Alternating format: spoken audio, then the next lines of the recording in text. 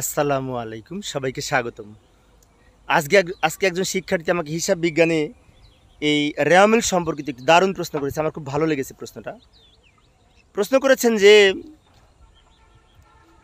ক্রয় ফেরত রেয়ামিলের ক্রেডিট দিকে লিখে থাকি। কেন ক্রেডিট দিকে লিখি? ক্রয় ফেরত কী অপরাধ করল যে রেয়ামিলের ক্রেডিট দিকে লিখতে হবে? সুন্দর একটি প্রশ্ন। আচ্ছা তার আগে একটি বিষয়, সেটি হচ্ছে, ক্রয় রেয়ামিলের কোন দিকে বসে? ডেবিটে তাই না?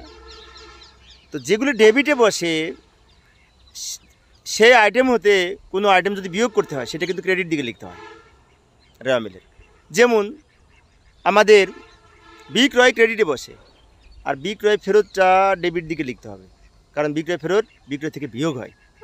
তা রেওয়ামিলে তো বিয়োগ করার সুযোগ নাই, তা ডেবিট দিকে লিখলে কিন্তু ইনডাইরেক্টলি বিয়োগ হয়। আবার, আমরা যখন ক্রয় রেওয়ামিলে ডেবিটে লিখব তো ক্রয়ের আমলে ডেবিটে লিখলে ক্রয় থেকে ফেরত বাদ যায়। সেজন্য ক্রয় ফেরতটা রেয়ামিলে ক্রেডিট দিকে বসে। অর্থাৎ ক্রয় ডেবিট দিকে, ক্রয় ফেরত ক্রেডিট দিকে। কারণ ক্রয় ফেরত দ্বারা এই ক্রয়ের পরিমাণ কমে। আবার বিক্রয় ক্রেডিট দিকে, বিক্রয় ফেরত ডেবিট দিকে।